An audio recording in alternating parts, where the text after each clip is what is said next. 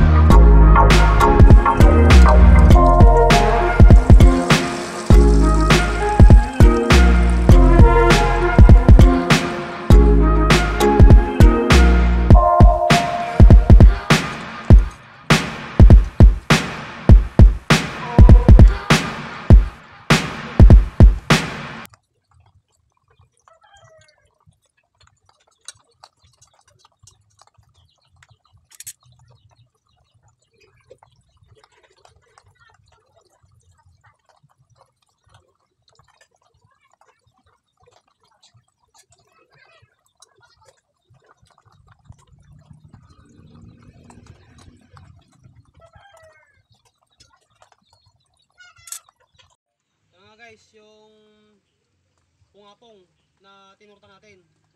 So guys oh. So ngayon guys, subukan natin siya kung anong lasa ng pungapong na tinurta. O tigi. Tigi sa Ilocano guys. So sa tagal na din ng tatay ko na, na ngayon lang niya nakita na tinurta ko tong pungapong. So ipapatikim din natin siya sa kanya guys kung ano talagang lasa nito.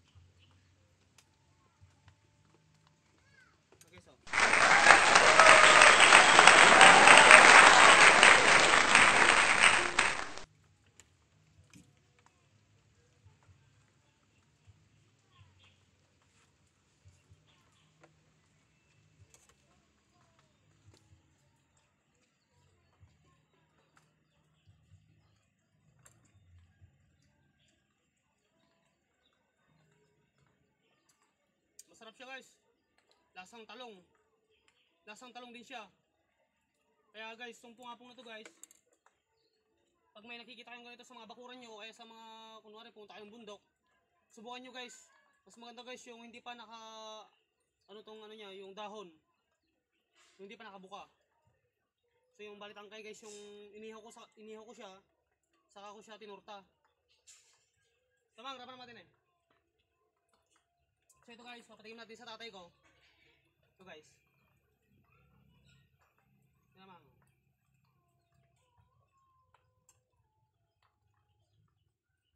Tatay ko guys. Kaya tatay. Tatay ko nga pong.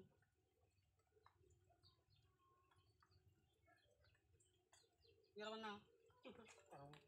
Talong. Talong, talong, talong daw guys. So,